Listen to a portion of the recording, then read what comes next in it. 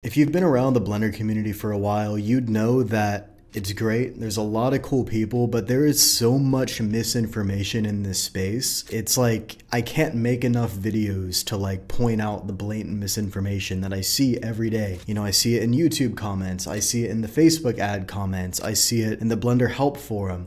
It's not that these people are trying to hurt you in your Blender journey. They're doing it unintentionally there's so much bad advice when it comes to like 3D modeling or learning Blender or anything like that. It's frustrating to see. And I actually got a comment about this just yesterday. Uh, which I kind of wanted to turn into a tutorial here. So I'll put the comment on the screen right now. And the comment basically says that the Boolean modifier tends to struggle with non-manifold geometry. This is partially true. It's um, it, it does happen sometimes. But I see this all the time. People are like, it's best to learn a bit about clean topology if you're going to be 3D modeling. These are completely mutually exclusive topics. They have nothing to do with each other, and I'm going to kind of show you why in this video. So what I'm going to do here is I'm going to hop into Blender, and I first want to discuss the idea of non-manifold geometry. You've probably heard this term before. Now, non-manifold geometry is basically anything that isn't watertight, and if it is watertight, it's also things that um, I guess the best way to explain it is to show you, but non-manifold could be overlapping vertices, interior faces, uh, holes in the mesh, all sorts of things. And I kind of want to show you why non-manifold geometry, it has nothing to do with clean topology whatsoever. So when I see these comments, it's frustrating because it leads beginners in the wrong direction. So I'm going to go in here and I'm just going to show you a very uh, basic example here. So what I'm going to do, I'm actually going to use the default cube and I'm going to go in, I'm just going to maybe take this face right here. I'm going to inset this face and then I'm going to duplicate this face, extrude it down, and I'm just going to go ahead since we have two vertices there. Now I'm going to go ahead and merge these together. I'm going to go to merge by distance. Now, if I go into wireframe mode here, this is what we would call non-manifold geometry. Now, the reason it's non-manifold is because of um, this area right here. If I kind of go inside, this would be manifold, this would be non-manifold. And we can actually enable a tool that comes with Blender. It's called the 3D Print Toolbox. Uh, because if you're doing 3D printing, you need to have manifold geometry. Uh, but if we go in here and click on check all and then go to this section, you're going to see that it actually shows you the non-manifold edges right here directly in Blender. So, you know, I'll see comments where people are like, oh, clean topology is going to solve this problem, but it's not. Because if I go in here, this entire cube is made of quads. Like it's objectively like clean topology on paper, right? If I go to select, select all by trait, faces by sides equal to four, this whole thing is made of quads, yet the geometry or yet the mesh is still non-manifold. It has nothing to do with each other. So if I go in here and I, you know, click on this, what I can actually do is I can get that cleaned up. Sometimes you can actually clean this up by clicking on this button. In this case, it worked okay. I found with this plugin, it doesn't work all the time, and I like to fix this manually. So I could actually go in here, I could delete out this redundant face right here, and now if I go to check, you're gonna see this entire mesh is manifold. So again, we have a you know clean topology, we have quads everywhere, but we don't have a manifold mesh. These are mutually exclusive topics. They have nothing to do with each other. I'm gonna give you another example here. So let's take the same cube and let's say I had, you know, I'm gonna go in here and I'm gonna go to rip vertices, which will basically um, just like make one into two. So I'm gonna go to rip vertices and you can kind of see we have these vertices ripped off of each other. So we have one and then another on top of it. This, again, this is still a non-manifold mesh. If I go into the 3D print toolbox and go to check all, it's gonna highlight that. That's because we have these redundant vertices right here on top of each other. And again, if I go to select all by trait, faces by sides, this is a quad based mesh. You know, I can still go in, I can add my loop cuts, it, I can do the same exact workflow, but it's still a non-manifold mesh. And this is gonna give you issues, not all the time. Like if you're doing 3D printing, you know, it's gonna be problematic. But if you were just rendering this, it's not really a problem. So it kind of depends on your workflow. But again, this is another example where you can have a non-manifold mesh where it's going to kind of break in like a 3D printing software, potentially in another engine, right? But it's still going to have clean topology. So, you know, clean topology has nothing to do with whether the mesh is manifold or not, right? So it's very, uh, it's, it's a different thing. Here's another example. If I go ahead and I just clean this up, now we have, you know, a perfect mesh. It's, it's a manifold. I clean that up. If I go in here and I delete out this bottom face, again, now we're going to have non-manifold edges. This would not work, for example, in a printing software. I don't do 3D printing, but it's pretty like basic information there. This would not print well. Now this would work in a game engine. This is actually, you know, something people would do. They would delete out faces off the bottom of the mesh if you're not going to see it. That's not an issue. I'm just trying to show you here how topology has nothing to do whatsoever with, you know, a manifold mesh. And I'll give you one more example here. A lot of people don't know this, but if I were to add in, let's say a cube, and I'm just gonna delete out this entire portion of the cube here, okay? So when it comes to like edges, faces, vertices, now every single vertex, you know, you can have multiple edges going into a vertex, right? Um, but it's a little bit different when it comes to like an edge. You can kind of see we have this face going into this edge and we also have this face going into this edge. They're, they're adjacent basically.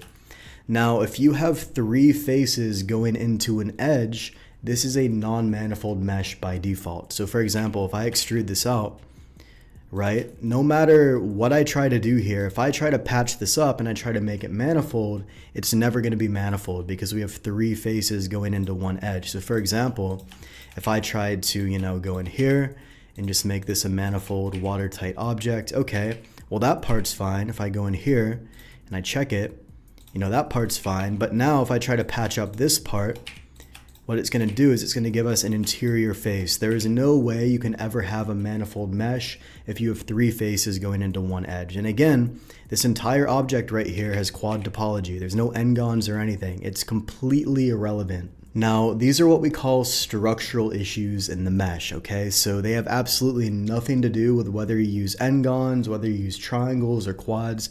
This is a structural issue within the mesh and they're completely separate from the topology argument. So, you know, you'll hear this typical advice online where people will be like, you know, have clean topology. It's going to solve all your problems. You know, have quad topology. It's, it's, it's complete misinformation and I see it all the time.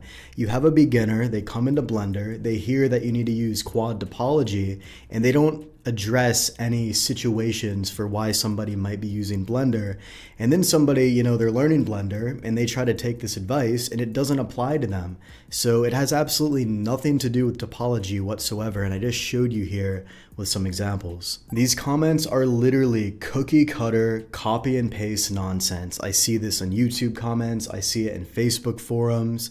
I see it in probably the worst place you can go for help, which is the Blender help forum, which is like nine out of 10 posts on there have awful advice, but um, you know, it is what it is. Now I want to show you another example here of how you can have bad topology, but you can still have a manifold mesh. I'm to go ahead and I'm to add in Suzanne, and then I'm just to go in here and maybe subdivide it. Actually, I'll subdivide it in a second, but let's say, you know, Suzanne is pretty much, you know, made of all quads here, and it is also manifold. If I go in here, you're to see Actually, I guess Suzanne isn't manifold. I learned something new today, guys. It's uh, not all connected together. But anyways, I'm just to go in here. I'll just clean that up for the purpose of the tutorial. Check everything, and there we go.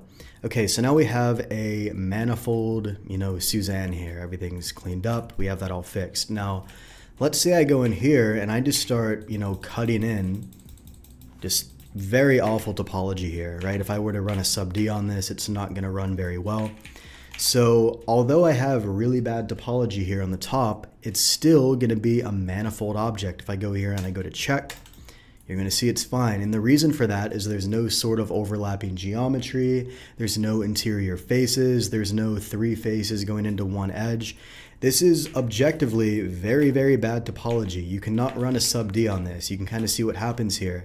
Yet it's still a, uh, a manifold mesh here. You can see that very clearly, and especially if you check it, It doesn't matter. You can have, again, you can have very bad topology here and you can still have a manifold object and it's gonna work, you know. I could put this into a printing software as long as there's no like physical mesh overlaps kind of like we have here and it's going to work fine you know i see a bunch of people they get into blender for 3d printing they have really bad topology on paper but it doesn't matter because they don't need clean topology for their workflow and I'll just do one more example here. Let's say I go in and, you know, you've seen this in my tutorials as well. If you start using booleans and stuff like that, you're obviously going to have n-gons on your mesh. So I could go in here and I could just start cutting with the boolean modifier, right? Just use Boxcutter for that. And then I could just go in, I could apply everything. And we have n-gons everywhere, right? If I go to select, then I go to all by trait, faces by sides, and then greater than four, we have n-gons all over the place, but this is still a manifold mesh because again, topology, it has nothing to do with whether the mesh is manifold or not. So again, I can go in here and click on check. This is fine. This would print fine. I could probably use this as long as I optimize it properly.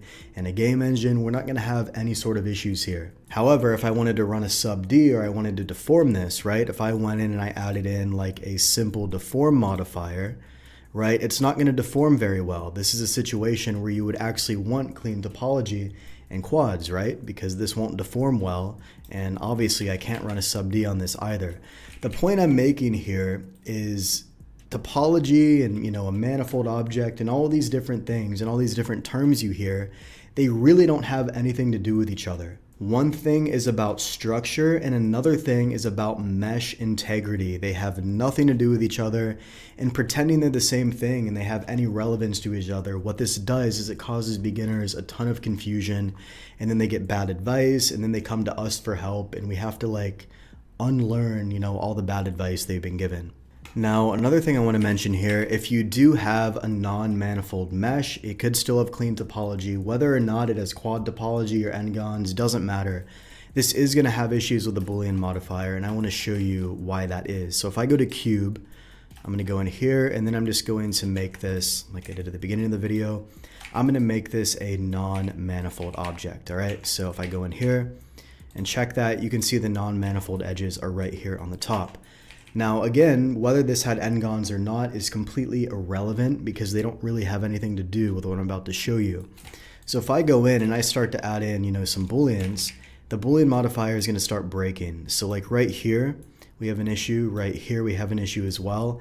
And that's because the mesh is a non-manifold. Now, I have found that if you change the solver here to exact, you actually get um, some decent results. Sometimes it works, sometimes it doesn't, but if I go into the Boxcutter settings here and I just make everything set to exact by default, I'll just turn that to exact. Uh, there's still going to be situations where this mesh is just going to break even if we have, you know, the boolean here set to exact. So in this case, you know, non-manifold geometry is going to be a problem and this has nothing to do with whether we have n-gons or quads.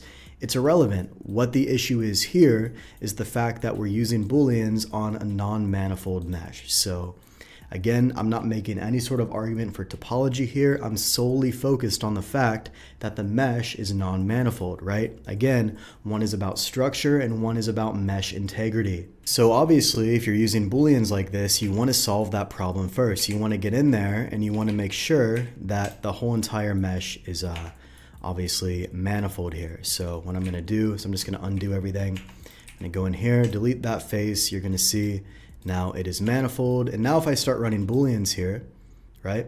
I'm just gonna go in and also I don't recommend actually keeping it set to exact. I would keep it set to fast and then change it manually if needed. I found things tend to bug sometimes with Boxcutter, but if I go in now, there's never gonna be any sort of issues here, whether there's n-gons or quads, because the mesh here is actually manifold and the booleans are gonna work properly. And you can kind of see that here uh, very visually. There's no issues at all. And I'm going to give just one final example here just to really like drive this point home. I'm going to go in, I'm going to add a decimate modifier. I'm going to go here to decimate. I'm going to go to wireframe so I can see it. And then I'm just going to go to collapse. I could even do like unsubdivide. Sometimes that'll, that one's not going to work well. But say I go in here and I just collapse it a bit.